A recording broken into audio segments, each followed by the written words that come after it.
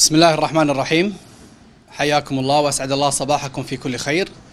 ونرحب بكم في هذا المؤتمر الصحفي اليومي الذي تقيمه وزارة الصحة وذلك للوقوف وتسليط الضوء على أبرز جهود احتواء فيروس كورونا المستجد كوفيد 2019 تعقده وزارة الصحة اليوم في مبنى الوزارة اليوم الأحد الموافق الثامن من شهر مارس لسنة 2020 يأتي هذا المؤتمر تاكيدا على المسؤولية المشتركة والتي تقيم بهذا الجهود وعلى كذلك الشراكة المثمرة ما بين قطاعات الوزارة بشكل عام وما بين كذلك جميع وزارات الدولة والجهات المعنية ذات الصلة وذلك حفاظا على الأمن الصحي للبلاد.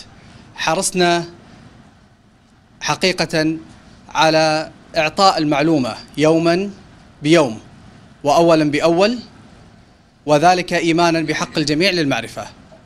نرحب اليوم بالدكتور مصعب الصالح رئيس قسم مكافحة الأمراض المعدية في قطاع الصحة العامة والدكتور أحمد المطوع مدير إدارة منع العدوى في وزارة الصحة. ونذكر بأن الوزارة على تواصل مستمر ولقاء يومي مع منظمة الصحة العالمية ولا سيما المكتب الإقليمي لمنظمة الصحة العالمية لإقليم شرق المتوسط. وهناك دراسة تقدم. هناك دراسة تقدم من قبل المركز الوطني لتطبيق اللوائح الصحية الدولية. هذه الدراسة منذ بداية الأزمة وبشكل يومي يقوم بإعدادها هذا المركز وذلك لدراسة الأوضاع والمستجدات في جميع الدول بشكل عام لا سيما دول إقليم شرق المتوسط الذي تنتمي إليه دولة الكويت وهو التابع لمنظمة الصحة العالمية. يتم دراسة جميع المستجدات وانتشار ومتابعة انتشار الحالات بشكل يومي ودراستها في وزارة الصحة وبالتعاون كذلك مع الفرق المعنية الفنية المشكلة من القسم من قطاع الصحة العامة وتحديدا من استشاريين واختصاصيين بالصحة العامة وبالوبائيات وبالفيروسات الطبية.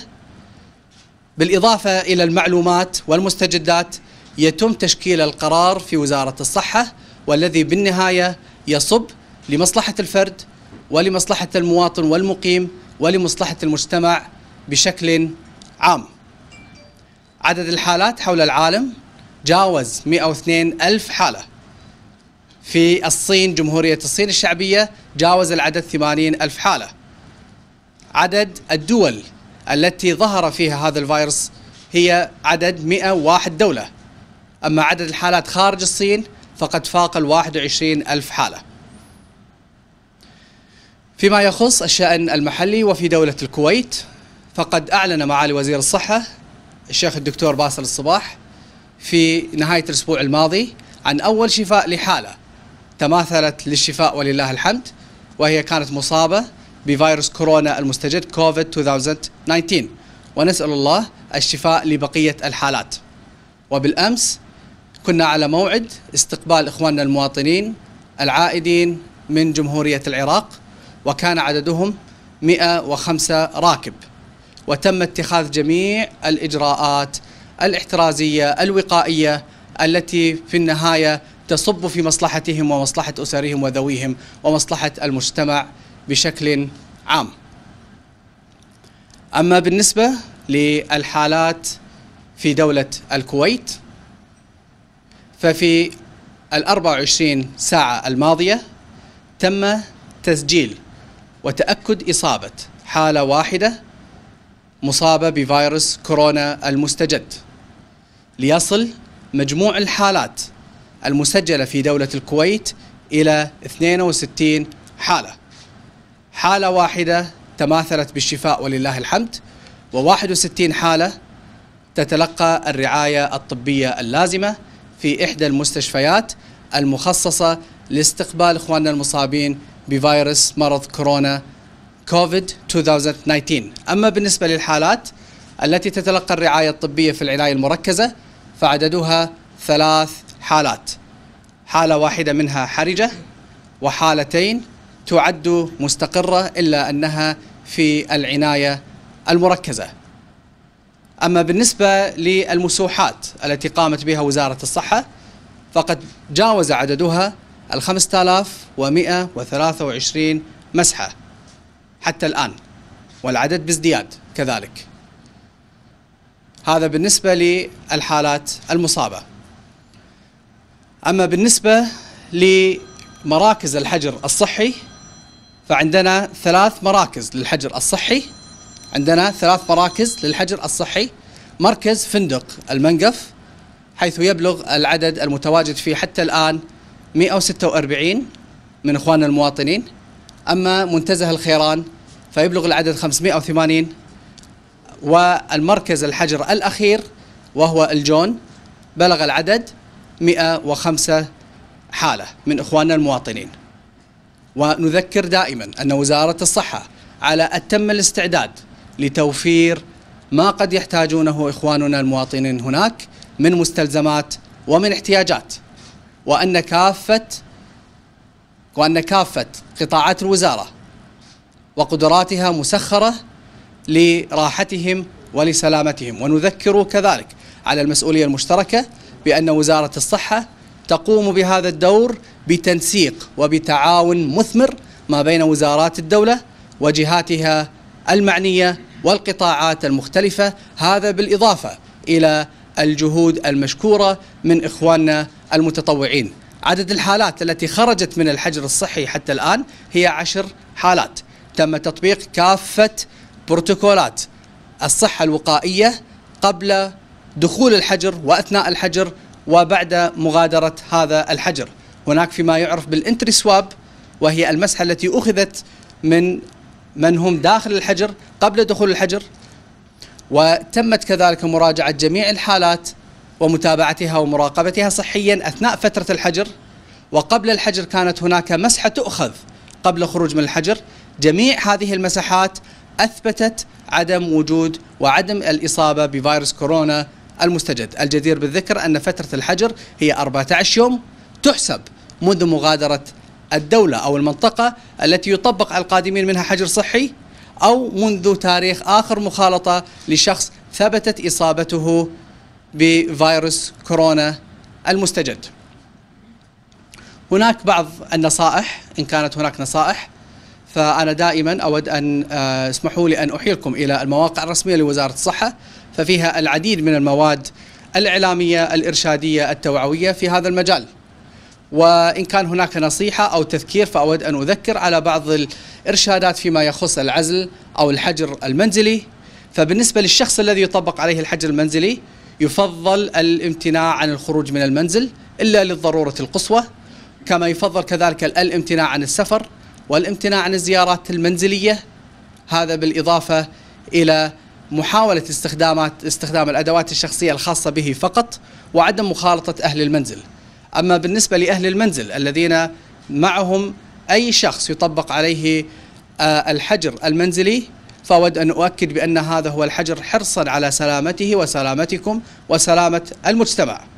كما أن هناك بعض الإرشادات كالمحافظة على تهوية المنزل بشكل مستمر وعدم مخالطة من تطبق عليه إجراءات الحجر المنزلي وإن كان هناك ضرورة فيفضل لبس الماسك أو الكمام قبل مخالطته.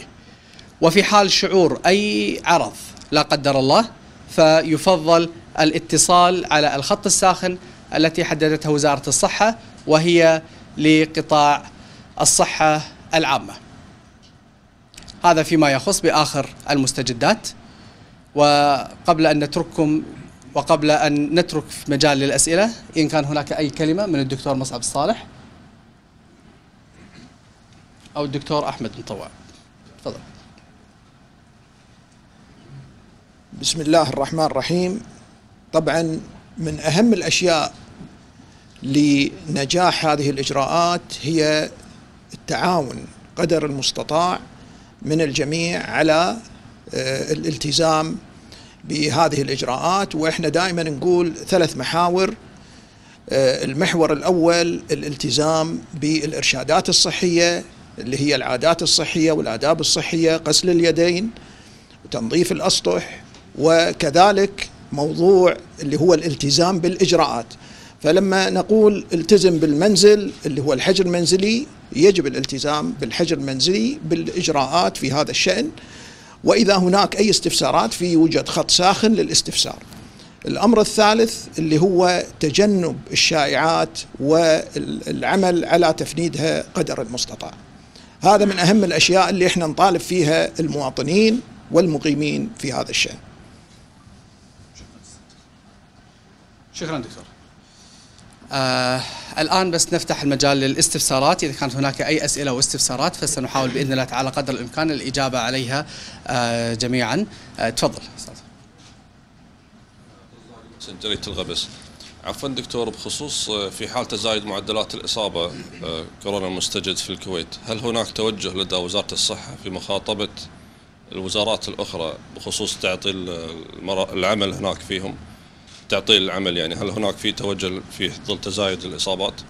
فعلا آه جزاك الله خير. إحنا آه على اطلاع دائم لآخر مستجدات والتطورات العالمية وفي دراسة وفي آه تأهب دائم لجميع المستجدات. وكما أن خطة الطوارئ قد فعلت منذ اليوم الأول من انتشار هذا الفيروس. فلدينا هناك خطط نطبقها على أرض الواقع هذا بالإضافة إلى الخطط البديلة الموجودة عندنا لاستيعاب أكبر قدر ممكن للمصابين لا قدر الله. هذا بالإضافة إلى تطبيق أي قرار فيما يخص يعود بالشأن الفائدة يعود بالفائدة للأخوة المواطنين والوافدين الكرام ويعود بالنفع لصحة المجتمع بشكل عام. نعم تفضل محمد الكندري وكالة الأنباء الكويتية كونا. ما الإجراءات التي تتبعونها على مدار أسبوعين آه، على عفوا ما الإجراءات التي تتبعونها على مدار أسبوعين لمواجهة آه، انتشار الفيروس كورونا؟ وعلى أي أساس يتم آه، فرز الدول السبع وعلى أي أساس عفوا يتم فرز الدول السبع وتصنيفها؟ تمام إن شاء الله. شكرا جزيلا. راح أبدأ من السؤال الأخير. آه، بالنسبة لطريقة تصنيف الدول وفرز الدول. كما ذكرنا نحن آه، على تواصل مع منظمة الصحة العالمية وجميع القرارات التي نتخذها هي بإشراف وبعلم منظمة الصحة العالمية وبما يتفق مع البروتوكولات العالمية.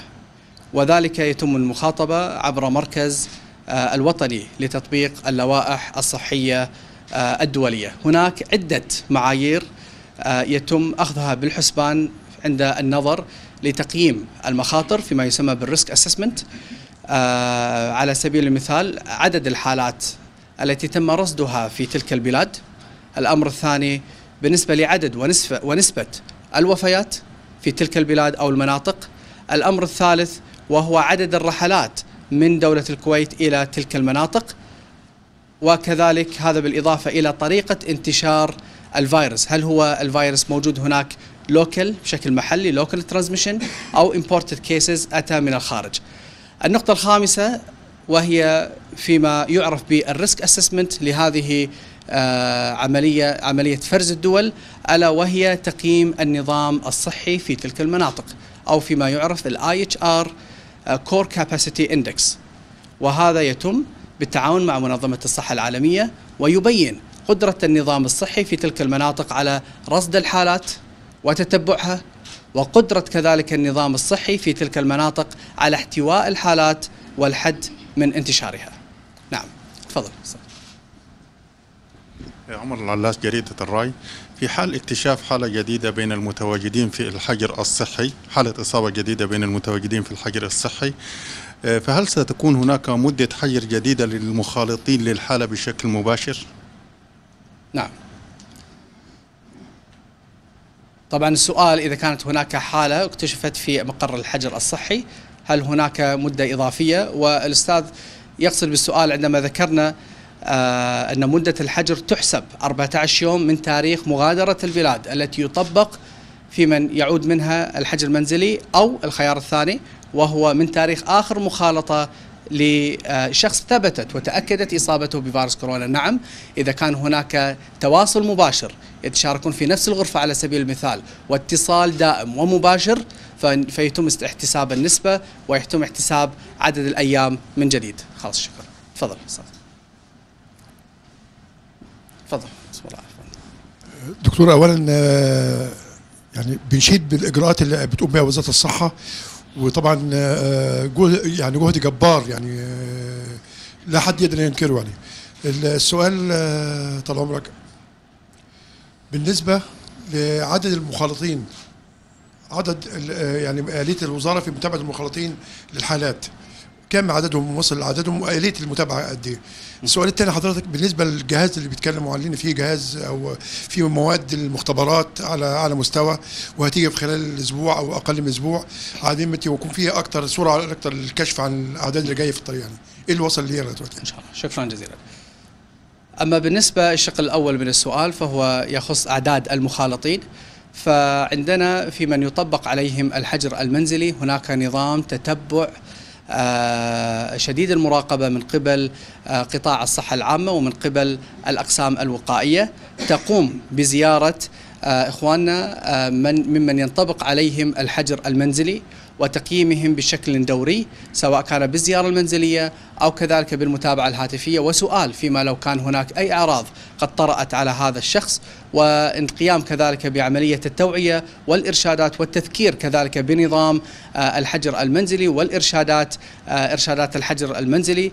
آه، هذا كله يتم عن طريق الأقسام الوقائية التابعة للمناطق الصحية في المراكز الرعاية الصحية الأولية التابعة لمنطقة السكر في من يطبق عليه الحجر الصحي. أما فيما يخص الإجراءات والكواشف تقصد الكواشف كواشف الفيروس فولله الحمد دولة الكويت من الدول الأولى التي توفرت فيها الكواشف الفيروسية لفيروس كورونا المستجد كوفيد 2019 حيث كانت من أوائل الدول في المنطقة ممن توفر فيها الكواشف الفيروسية. ونحن نحرص دائما على جلب كل ما هو يفيد في احتواء وتدعيم الجهود المبذولة في السيطرة والحد من انتشار هذا الفيروس. أستاذ عادل. عادل سامي الجريدة دكتور متى يخرج المحجوز عليهم في فندق شاطئ الكوت؟ خصوصا أنه مر عليهم 14 يوم منذ دخولهم. وسؤال آخر هل هناك تنسيق خليجي بين وزارات الصحة للحالات المؤكدة والمشتبه فيها؟ إن شاء الله. راح نبدأ من السؤال الأخير. كما ذكرنا أن هناك علاقة وثيقة ما بين وزارة الصحة والمنظمات العالمية فكذلك هناك علاقة وثيقة ما بين وزارة الصحة في دولة الكويت ومجلس الصحة الخليجي. هناك اجتماعات دائمة وتواصل بشكل يومي للوقوف على آخر المستجدات ومتابعة الأمور وكذلك التنسيق فيما يخص الإجراءات المتبعة في احتواء هذا الفيروس محليا وكذلك خليجيا وإقليميا. نعم. أما بالنسبة اما اما بالنسبة لفترة الحجر الصحي فكما ذكرنا أن فترة الحجر الصحي هي تحسب 14 يوم من تاريخ المغادرة وهناك عملية وعمليه تنسيق ما بين الأقسام الوقائية المتواجدة كذلك في مراكز الحجر. في كل مركز حجر هناك فرق من الأقسام الوقائية وكذلك هناك فرق من آه، آه، الأقسام الطبية الأخرى فهناك عيادات باطنية وعيادات تخصصية تعمل على مدار الساعة. وتراقب الحالات وتقوم بحساب هذه العملية عملية الحجر الصحي وفيما لو كان هناك إعادة للحجر الصحي أو تمديد فيما لو ثبت هناك مخالطة مباشرة لشخص ثبتت إصابته بفيروس كورونا المستجد. خالص الشكر لكم جميعا وإن شاء الله تعالى نلتقي على خير.